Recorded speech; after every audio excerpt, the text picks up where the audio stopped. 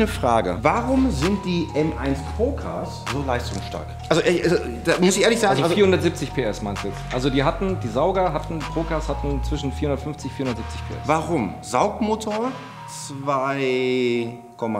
3,5. 3,5 jetzt. 3,5 Sauger Einzel. Ja, trotzdem, weil- Aber es waren, äh, also die hatten als Sauger 470 PS, als aufgeladen bis zu 1000 dann. Das ist klar. Gruppe 5 Autos. Aber es Aber waren ja als Sauger, nee, Autos. 470. Ja, M1, riesengroße Legende. Ich bin mir sicher, ganz viele BMW-Fans kennen das Auto auch gar nicht so im Detail, weil es eigentlich momentan gar nicht so einen großen Hype um das Auto gibt. Ne? Momentan ist es relativ still. Ja, der hat halt in den letzten zwei Jahren extrem viel Aufmerksamkeit bekommen. Wir hatten letztes Jahr 40 Jahre.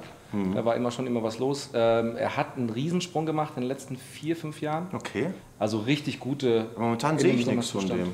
Hast du, also ja, es gab, äh, gab ja diesen Scheunenfund, der bei uns restauriert wurde, den ein, Mhm. ein Händler in Sizilien gefunden hat. Der Rest der Familie ja gedachte, es- da steht ein Ferrari in der Werkstatt oder in der Garage. Da waren sie ein bisschen enttäuscht. Er war auch rot. Nur BMW. Ja, nur BMW. Ähm, aber die Autos sind, also so die, die, die krassen Autos, die Sammlerteile, äh, die, so wie der jetzt zum Beispiel. Ach, ist das der? Nee, nee, nee, nee, das ist unserer. Das ist, unserer, das ist unser, unser Auto, ähm, der hat um die 20.000 gelaufen und die Autos liegen 750 aufwärts. Aua. Ja. Das ist auch ein richtig geiles Auto. Das Einzige, was da bei dem Auto immer schwierig ist, ist das drin sitzen. Weil du hast richtig. Hab ich noch die haben, nie. Die haben das Auto, äh, ja, also wenn du willst. Gerne. Ja, die haben das Auto konstruiert. Motorsport sollte ja, war ja ein reines Homologationsauto. Und dann so der klassische Fehler zum Schluss: Scheiße, da muss ja noch einer drin sitzen. Mhm. Und äh, du sitzt nicht ganz gerade drin, aber probier es einfach mal. Ja.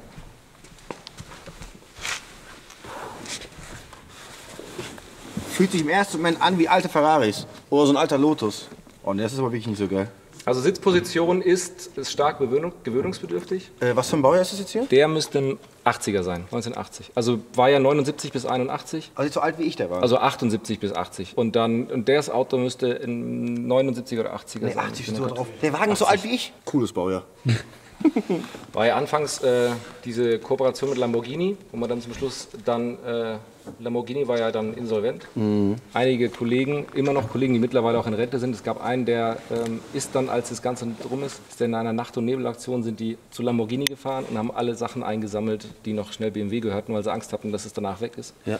Und ähm, Erklär, erklär uns mal ganz genau. Also Lamborghini und BMW hat sie das Chassis zusammen gemacht? Ja, also klar war, Motor kommt vom BMW. Äh, klar war aber auch gerade in, in, in dieser, weiß nicht, wie man, ob man damals schon Supersportwagenklasse sagen sollte, hatte man sich äh, dann auch gesagt, okay, lass uns ein anderes mehr Know-how noch in, die, äh, in den Laden reinholen und lass uns äh, sehen, ob wir da besser zusammenarbeiten können. Weil es war klar, dass Lamborghini da deutlich mehr Erfahrung hatte und dass man da irgendwie zusammenarbeiten kann. Und das war gerade in der Chassisentwicklung. Okay. Was ja auch schon wirklich sehr interessant ist, weil manche sich ja momentan über diese Supra-Toyota-Geschichte ziemlich, ja, ziemlich lautstark unterhalten. Aber dabei ist es ja schon ein, ein, ein Teil der Vergangenheit so ein bisschen auch. Ne?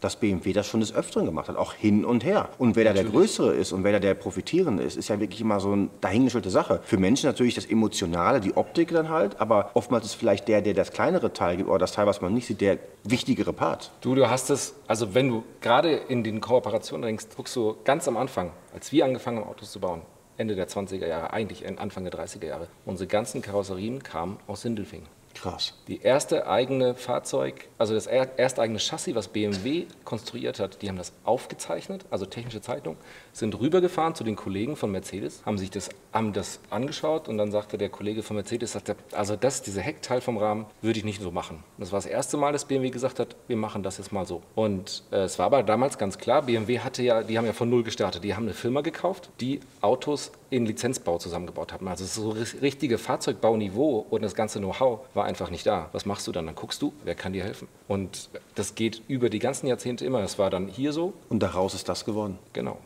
Schon geil. Toll. Das ist ein M1-Motor. Das ist der, genau, in Procar-Spezifikation. Mit Flachschieber. Jetzt können wir hier mal einen Flachschieber ganz, ganz cool zeigen, Leute. Äh, oh, der ist gar nicht angeschlossen, ne? Ach, hier doch. Ja. So sieht man es. Aber ja. Komm mal rüber. Guck mal rein. Ah, yes. Der große Vorteil bei einem Flachschieber ist natürlich, wenn du eine normale Drosselklappe hast, einen normalen Drosselbereich, dann hättest du ja immer den, den Bereich der Drosselklappe in der Mitte. Somit wäre das ein strömungs nicht idealer Zustand, du hättest immer wieder Verwirbelung und vor allen Dingen nutzt du nicht den vollen Durchmesser des Strömungskanals. Bei einem Flachschieber hast du bei Volllast ein Loch, als ob da nie die Drosselklappe gewesen wäre. Und somit ist die Dosierung wirklich eigentlich identisch, aber die Volllast gibt dir bestimmt 15, 10 Prozent mehr Strömungsvolumen und vor allen Dingen keine Verwirbelung. Und das alleine, würde ich sagen, ist auf eine Leistungssteigerung von bestimmt 5 Prozent. Nur der Flachschieber an sich. Und ähm, so ein Ding macht jetzt 400 noch PS oder was? 470 bei 9000 umdrehen. 9. 9. Mit Cargetronic oder mit hier so, so einem direkt mit so einem Ding hier. Äh, das ist Kugelfischer. Ach, Kugelfischer meine ich ja. Hm. Will man das? Direkt, da sowas, sowas mit richtiger Einspritzung? Hat funktioniert. Boah, die Krümmerdurchmesser. Alter Verwalter. Guck mal da von da drüben. Ja.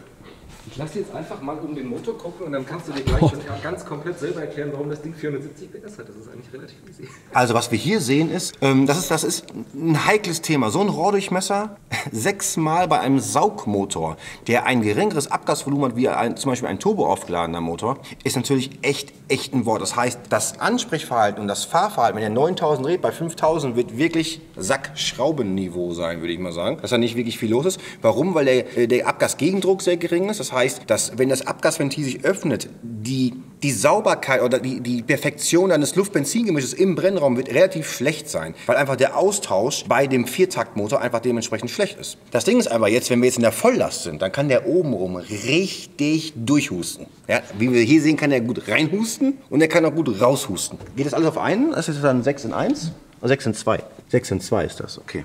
Krass. Geil. Und was verbraucht sowas? 30, 40? Locker. Ja, locker. Also ich habe, also 30 äh, würde ich jetzt auf, auf jeden Aber Fall locker, sagen. flockig eigentlich. Und dann hattet ihr vorhin äh, abgesprochen, dass wir den Wagen mit nach Hause nehmen dürfen. So war das. Genau, du lässt uns noch ein bisschen Geld da und, äh, und dann, dann, dann darfst du ihn mit nach Hause nehmen. Super, okay. Und das waren irgendwie elf, ne? Ähm, ja. nee, nee, es, es waren fünf Raten A11, ja. Fünf Raten A11. Ja gut. Ist echt schade, dass du am Sonntag da bist, weil unsere Kollegen aus dem Handel sind heute nicht da. Ja, wirklich schade. Ah. ja, äh, E36 M3 Serie wäre eigentlich ein extrem sexy Daily Auto. Ne? Wäre es wirklich jetzt. Ja. Nee, haben wir aber nicht. Ja. Aber was wir haben ist, wovon wir am Anfang gerade gesprochen haben. Wir haben unseren äh, F1-Motor hier. Wir, M12 slash 13, es gab 12er und 13er, ne? Okay. Also 1, ich habe mich sogar vertan. 1,5 Liter, ich habe 1,6 Liter gesagt vorhin. Und 1300 PS. Und du sagtest vorhin, es gab auch Also es war die, die letzte Stufe, nicht in dem Weltmeisterjahr, die letzte Stufe war bei ca. 1400 PS, drei Runden. In-Lap, Hot-Lap, Out-Lap. Kopfdichtung, Und dann- ciao. Genau, und dann äh, neuer Motor rein. Äh, die Blöcke waren Ist ja tatsächlich... auch vernünftig. Gebrauchte Blöcke, das weiß ich. Gebrauchte Blöcke. Äh, Kraftstoffaufbereitung, Additive, die Nummer kennst du auch. Nö, aber ich denke mal Alkohol. Also, es gibt Paul Roche, es gibt so viele Geschichten von Paul Roche und es gibt so viele Zitate. Das eine war, dass sie angefangen haben, äh, irgendwann dem Benzin Wasser zuzumischen. 1%, 2%, 3%. Und dann irgendwann sagt er, und bei 8%. in den Einspritzprozess. ja. Und bei 8%, also nicht in den, Einspritz, äh, den Einspritzprozess, sondern tatsächlich in, In die Füllmenge. Also ja, in, in, die Füllmenge. Und dann kommt der Satz von ihm, und bei 8% haben wir herausgefunden, dass Wasser nicht brennt. Aber, Kluger Mann. kluger Mann, aber Kühl. Ne, Wir haben auch herausgefunden, oder wir Ich glaub, damit, damit wussten wir auch, dass wir 8% von anderen Sachen mit reinfüllen können. Und dann war es in der Zeit war es ja so, dass jedes Team mit seinen eigenen Additiven und Spritmischungen experimentiert hat. Ich habe letztes Durfte. Mal auch durfte. Ich habe letztes Mal mit einem, äh, mit einem Journalisten gesprochen, der damals Motorsportjournalist war, der sagt, du konntest damals die Boxengasse nicht von oben nach unten durchlaufen, ohne komplett dösig zu werden, weil halt diese ganzen Dämpfe in der Luft waren. Das war zum Schluss extrem aggressiv, die Mischung. Also wenn wir das Auto immer noch fahren, ähm, dann wird sofort, nachdem das Auto abgestellt wird, wird die ganze Sprit wieder abgesaugt. Dass wir das nicht im Tank haben, nicht in den Leitungen.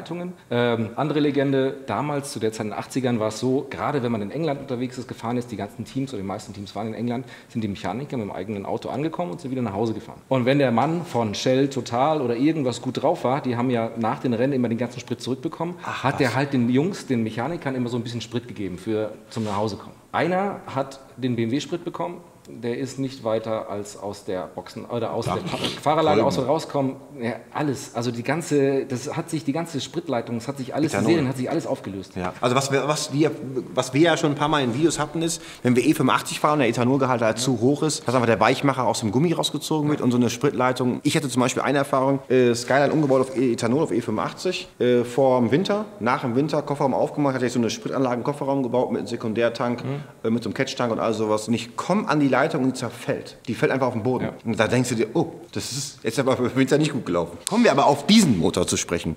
Und zwar 1,5 Liter Hubraum. Wir sprechen wirklich von eineinhalb Liter Flaschen Milch. Das ist jetzt nicht viel Volumen. Andersrum gesprochen, ein 1.8T Motor aus dem Golf 4 hat 0,3 Liter mehr Hubraum. Das ist ein Motor, der serienmäßig echt eine tote Hupe ist. Jetzt haben wir hier 1,5 Liter Hubraum. Okay? Der dreht wie viel? Ihr seht hier 1,1, aber ich denke mal, die meinten 11, ne? Ja, ja. Das ist verschrieben. Ja. Oh, M3 E36 ist meiner. Alter. jetzt sind es noch drei Raten. Nein, also, wir sprechen hier von 11.000 Drehungen, würde ich mal ganz frech so behaupten. Und jetzt muss man sich überlegen, wir haben einen relativ kurzen, normalen Hub. Die Motoren, die hier verwendet worden sind, waren damalige serienmäßige Blöcke, 1,5er Motoren, Benzinmotoren, richtig? Ja, das war der M10-Block, der bis zu 2 Liter hatte. Genau. Der Grund, warum wir das gemacht haben, ist, weil das Material sich setzt. Ja, das ganze Material setzt sich, der ganze Gussblock, ist ein Gussblock, ne? Ja. Ja, der Gaussblock, alles setzt sich. Das heißt, die ganze Hitzebehandlung, Hitz, also Heat Treatment, was es ja heutzutage auch noch gibt, ist alles durchgelaufen in einem sehr gleichmäßigen Prozess im Alltagsbetrieb bei irgendeiner normalen Person. Weil wenn man nämlich ganz moderne Motoren baut, ganz nagelneu vom Werk, dann gibt es immer noch Stellen und Bereiche, wo einfach sich gewisse Materialien noch nicht gesetzt haben in so einem Block. Und somit können Hitzerisse entstehen, wenn sehr hohe Belastung thermisch oder auch von der Drehzahl oder von der Erschütterung halt kommt. Somit haben sie hier gebrauchte Blöcke genommen, 100.000 gelaufen. Ja, Ja, vom Schrottplatz teilweise. ja geil. Der Kollege hat auch gesagt, das sind teilweise Blöcke, die irgendwo im Eck liegen, wo die Leute äh, ja, drauf gepinkelt haben oder was auch immer. Und die werden halt dann hergenommen für solche Motoren. Ja, genau. Genau. Ja, aber, aber macht auch Sinn. So, jetzt stoßen, stößen wir hier aus und wir haben gar nicht so einen großen Rohrdurchmesser. Wir erinnern uns gerade bei dem, bei dem Procar, das war ja ein wirklich riesengroßer Krümmer. Hier haben wir Abgasvolumen wie ein Mann. Jetzt addiert sich das natürlich, wir haben nicht 9000, wir haben 11.000 drin. Wir haben ein höheres Drehzahlband. Plus, der Motor fährt auch hauptsächlich in einem hohen Drehzahlbereich, wo er wirklich sehr, sehr viel rausstößt. Jetzt kommen die Abgase hier raus. Zweiflutig. Wir haben also ein Twin-Scroll-Abgasgehäuse. Das bedeutet, dass die Stoßaufladung der einzelnen Kolben, ja, geht in einem Rhythmus durch den Krümmer durch und kann dann hier und kann dann hier durch die einzelnen Kanäle durchstößen. Was der große Vorteil ist, die kommen so durch. Stoßmoment, wenn die, wenn die Abgase über die Turbine treffen und dann im zweiten Moment auch. Somit haben wir eine durchgehende antreibende Kraft und können ständig Boost produzieren. Auf der gegenüberliegenden Seite natürlich der Verdichter. Kleiner Verdichter. Nicht. so.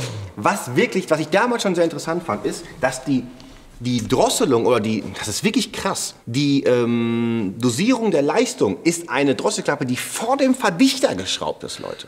Das bedeutet, dass es nicht im An in, in, der- in, der, in der Ansaugbrücke ist, sondern das ist vor dem Verdichter. Das bedeutet, wenn der jetzt hier, der geht in die Kurve rein, Ladeluftkühler. Ja, alles, äh, nee, hier, Ladeluftkühler hier so zwischen, so ein riesen Ding, was ja so im Fahrtwind war, den sehen wir da, ist wieder zu weit laufen, aber der steht hier ungefähr der Ladeluftkühler, rein und dann hier oben so hier rein, Richtung Drosselklappe rein. Das ist alles noch unterwegs. Während der Kollege, deswegen sind moderne Motoren eigentlich Drosselklappen alle hier. Ja, dass er dann hier noch ein Schubumlaufventil hat, das er dann halt hier nicht mehr hat in dem Betrieb, richtig? Oder hat er ein Schubumlaufventil überhaupt? Ich glaube gar nicht, hat er gar nicht, ne? Nein, hat er nicht. Schubumlaufventil bedeutet, wir haben bei 11.000 Drehungen, gehen wir aus dem Gas, die Turbine dreht sich, der Ladedruck will ja immer noch volle Möhre. Der der Lader sagt ja nicht Stopp, sondern der Lader dreht sich und da ist kein Schubumlaufventil, was wirklich, wo der Ladung entweichen kann. Das heißt, wir haben, wir haben wirklich volle Möhre Belastung auf Ansaugbrücke, auf alles Mögliche. Das heißt, der Vorteil ist, wenn du wieder aufs Gas gehst, der Laderdruck ist da. Das heißt, wieder auf und volle Möhre wieder Krieg. Ja, schon sehr, sehr extrem geil. Was wir hier auch sehen ist, dass wir eine Trockensumpfschmierung haben. Wir haben hier einen zweiten Riemen, der von der Kurbelwelle weggeht, auf den zweiten hier außen. Sexy. Und noch was. Die Jungs, ähm, bei so viel Leistung, so ein kleiner Motor, so viel Laderdruck, ein Wastegate. Warum nur ein Wastegate? Weil die waren froh um jedes Abgasvolumen, was sie hatten, was den Lader antreibt. Somit war das hier, das, ich denke mal, die, die Leitung hier, Wastegate, war seltenst auf. Das war irgendwo, sechste Gang. Wenn der Kurs am Drittzahlbegrenzer war, haben sie irgendwann mal gesagt, jetzt reicht's auch mit dem Abgasstrom. Er muss sagen, dass er in dem, in dem Rennen ist er ja extrem, also Piquet ist ja auch deswegen Weltmeister geworden, weil er extrem intelligent damit gefahren ist. Also er hat, wenn er es nicht gebraucht hat, dann Ladedruck immer extrem runtergefahren und hat ihn nur dann hochgefahren, wenn er wirklich gebraucht hat. Also dass das Ding über ein ganzes Rennen komplett unter Druck stand, ist ja auch dann... Ja, ja. Ähm, Aber dann 800, wäre- 800 PS ist er gefahren. Ja. Guck mal, 800 PS. Fahren wir jetzt teilweise auch noch mit dem Motor, Wann? selten. Wann, wo? Zandvoort oder Goodwood oder was, wenn er fährt. Geil. Dann, oder wenn äh, mal der Piquet Junior auf dem, wir sind am Timmelsjoch gefahren mit dem Auto, Mhm. Timmelsjoch abgesperrt. Ich habe jetzt eine eigene Strecke, wollte ich nur mal eben erwähnen. Ne? Okay, weiß Bescheid. Eine eigene Strecke. Zwar nur 1,1 Kilometer, aber. Ja, eine Kurve, eine, Kurve, eine Kurve ist Auer, aber alle anderen Kurven sind dafür gut. Nee, okay, geil. Aber sehr, sehr, sehr interessanter Motor. Ich denke auch für euch interessant, weil man redet ja oft so ne, über diese Motoren. Früher Formel 1 war das viel krasser. Das ist er. Das ist der Motor. Dann kommen wir zu Formel 1 heutzutage. Ansaugbrücke V10, äh, Formel 1 damalig. Das heißt, hier war so ein Kasten, Saugmotor natürlich. Und hier war das so, dass der Benzinnebel vor den Luftstrom ge gesprüht wurde. Und da gibt es auch eine geile Aufnahme bei YouTube. Das machen wir mal rein. Haben wir schon ein paar Mal reingemacht. Können wir noch mal reinmachen.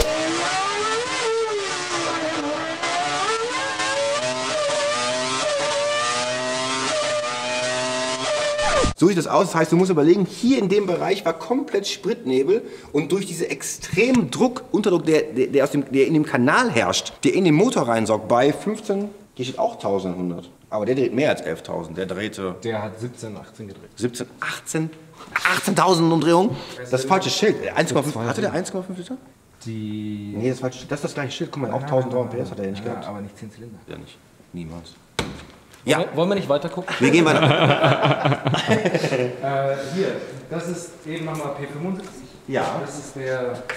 Äh, also, das ist der aus dem, aus dem Le Mans-Auto. Warum ist jetzt so sauber? Also nicht aus dem Le Mans-Auto, sondern das, das, so ein Nee, ich Motor weiß, ich weiß, aber Mans selbst, Auto. dass er hier so steht, also das, wie sauber ist denn? Ist ja kein, ist ja nichts. Habt ihr gerade sauber gemacht? Ja, du hast heute Morgen angerufen. Um halb vier warst du da, das heißt, wir haben noch einmal die Putzkolonnen durchgeschickt. Nein, Quatsch. Also du findest, wenn du Staub suchst, dann findest du auch. Also der hat aber auch dann mit den, mit den äh, erlaubten äh, Durchmessern vom Ansaugtrichter, weil das war ja damals äh, das Bottleneck, äh, womit sie die Leistungen Leistungen, reglementieren Balance konnten. of Performance. Also offen gab ja auch die Aussprache, war ja das letzte, der letzte Motor, der vom Roche produziert oder ähm, entworfen wurde. Ähm, Frage nach Leistung äh, sagte er, so viel sie wollen, aber tatsächlich waren es bis zu 800 PS. Sauger. Sauger. Also wir haben ja in einem Auto haben wir den Motor ja offen, ohne irgendwie R-Restriktoren und das ist der X5 Le Mans. Ah, jo, der hört sich auch krass an.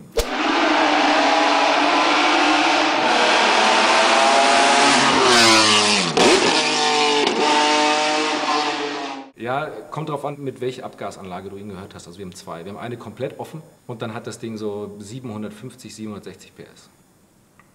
Steht leu- heute leider nicht hier, aber Ja, ihr macht schon coole Sachen, ne?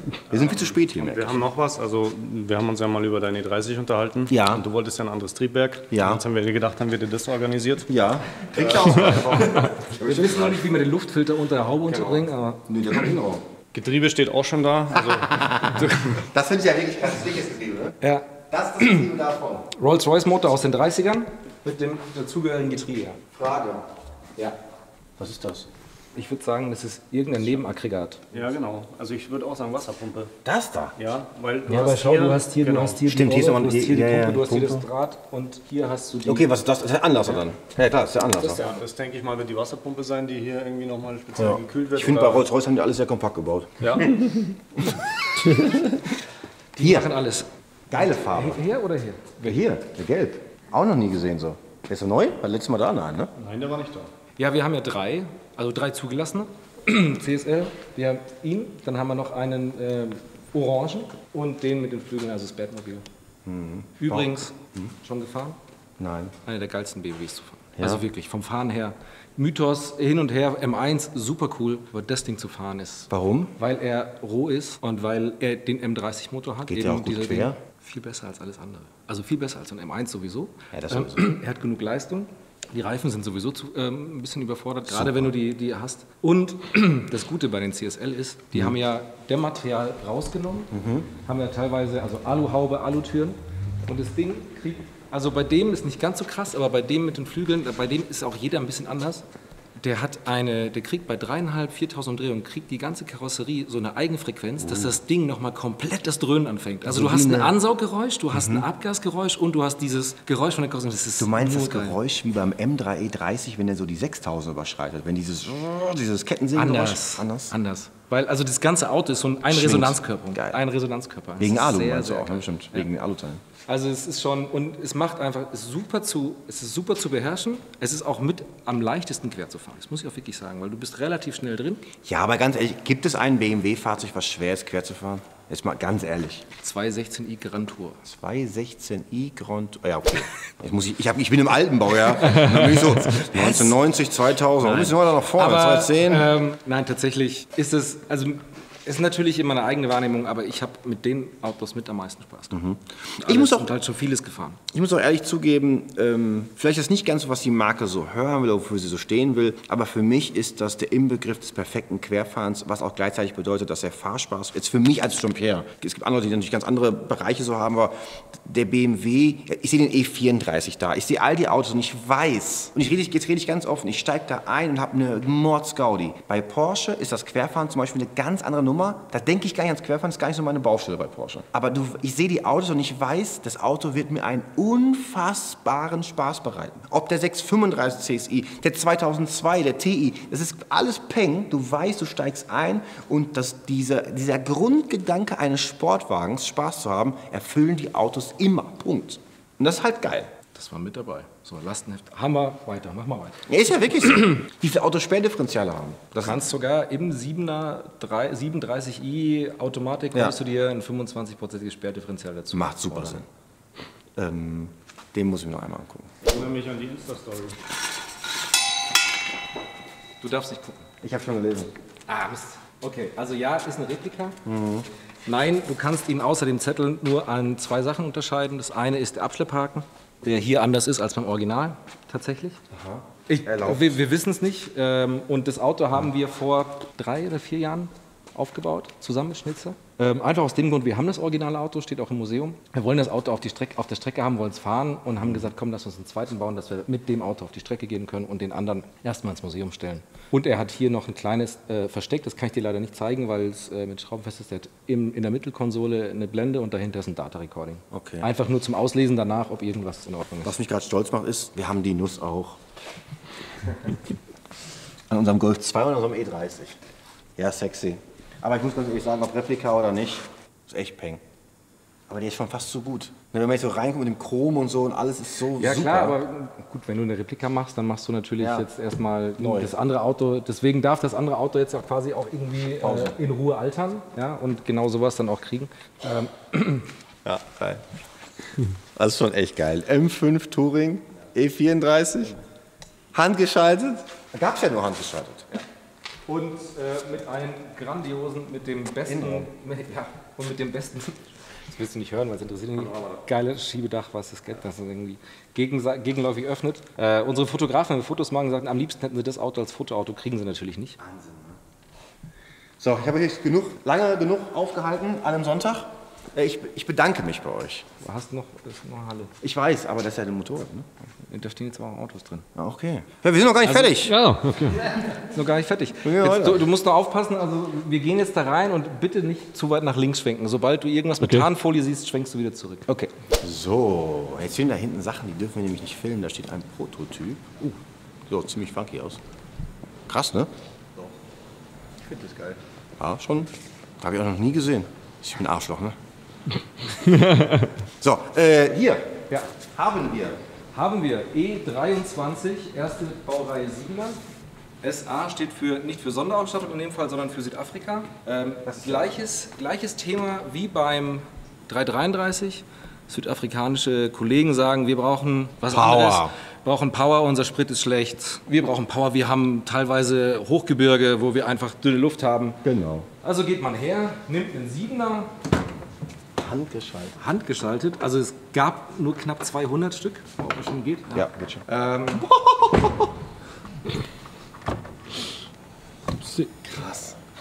Ja, okay. Ihr seid jetzt echt mit die ersten, die ihr sieht, weil, die ihr seht, weil der kommt eben, letzten Montag ist er in München aus dem Zoll gekommen. In dem Zustand. In dem Zustand kam er jetzt aus dem Container. Ja gut, wir haben ihn nochmal sauber gemacht. Okay, eine Lackierung. Aber ähm, so haben wir jetzt bekommen. Wir haben auch lange äh, dann dafür gekämpft, dass wir ihn jetzt endlich hier in der Sammlung haben, weil es ist ein Auto, was auch eben zu uns gehört. Ein Stück weit. Und es war nicht nur das, es weit. war. Also gut, E23 haben wir halt einige, ja, aber so eine hat uns eben noch gefehlt. ja, ja. Ähm, Habe ich noch nie von gehört. Ein ein Siebener mit einem M1-Motor. Und äh, was bei dem Auto noch, also Schaltgetriebe hattest du ja schon gemeint, was bei dem Auto noch ganz besonders war, ist, dass die in Südafrika auch ähm, Die Lüftung links ist anders. die ganze Lederausstattung war damals ein Pilotprojekt für BMW. Man hat die Lederausstattung komplett in das Leder aus Südafrika bezogen. Und da hat man damals, ange also es war so das Erste, dass man gesagt hat, äh, wir so versuchen Geld das jetzt früher? mal. Hm? War da so viel Geld früher? In Südafrika. Ja, also viele hatten gar nichts oder haben gar nichts, aber es gab halt auch so eine äh, Elite, die deutlich Geld hat, deutlich Geld hatte und da hat man dann eben auch, also es ist südafrikanisches Leder und es war dann damals auch äh, aufgrund dessen, es war das erste Auto, sind dann auch immer mehr Lederausstattungen aus Südafrika für andere Autos, die nicht da gebaut worden sind, Okay. gemacht worden. Äh, sind wir jetzt aber auch tatsächlich alles erst dabei, das Ganze rauszufinden, die ganzen Geschichten, Umstände von dem Auto. Mhm. Sicher ist nur, dass das Auto eben von ähm, Herrn Pischetzrieder gefahren wurde Ach in so. Südafrika, der ja auch dann mal Vorstand war bei BMW. Und vor seiner Zeit äh, eben beim Vorstand war er eben in, bei BMW Südafrika. Und das war quasi sein. Zum Sonnentanken. So, abschließend tun wir das Ganze jetzt hier mit einem Auto, was ich gerade hinter uns sehe. Und zwar das ist das originale Mr. Bean Auto. Der hat da oben drauf gesessen. Ja. Er unterschrieben. Vielleicht sogar reingefurzt. Ja, wahrscheinlich. mit Unterschrift. Ah, und der Fahrer saß also hier unten rechts. Genau, und der saß hier so weit unten, das siehst du ja, Ja, dass ja, er sehe ich. quasi mit, also steuern konnte. Hier siehst du das Lenkrad. Guck mal, das ist ganz spannend. Ja. Du denkst nämlich erst, es wäre das Lenkrad da oben. Siehst du das? Achso, ja. Aber siehst du da runter? Ach krass. Jo. Da unten drunter ist nochmal ein Lenkrad. Geil, nach hiermit hat er, dann, hat er dann Gas gegeben. Ja, geil.